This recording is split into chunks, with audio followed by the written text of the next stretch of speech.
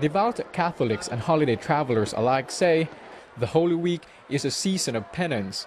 While the devout perform religious duties, vacationers and passengers bound for the provinces have to wrestle with tens of thousands others in cramped bus terminals, sea and airports. And less than two weeks before the Lenten week, lawmakers convene land and maritime transport regulators and transport operators to discuss improvements in services. LTFRB Chairman Martin Delgra says the agency granted special permits to more than a thousand bus units in anticipation of higher passenger volume. Agency records show there are more than 8,000 provincial buses nationwide, but supply may not still meet demand in some routes.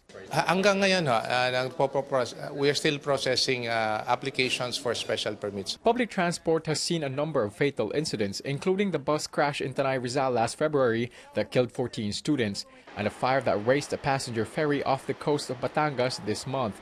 Land Transportation Office Chief Edgar Galvante says they reminded some public utility operators and drivers on road safety measures during a recent meeting.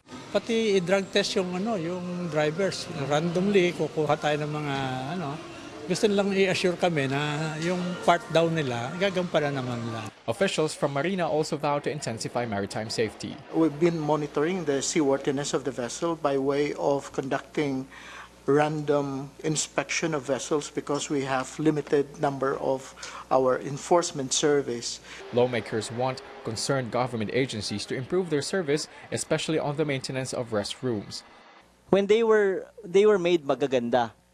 Ngayon, hindi siya naaalagaan dahil hindi alam kung sinong mag-aalaga nun. For commercial bus terminals, the LTFRB issued a memorandum circular order in 2008 requiring separate restrooms, including one for persons with disability. LTFRB board member Eileen Nizada says passengers can file complaints against bus companies if they find terminals inconvenient and below standards set by the government. Makoy Popioko, CNN, Philippines.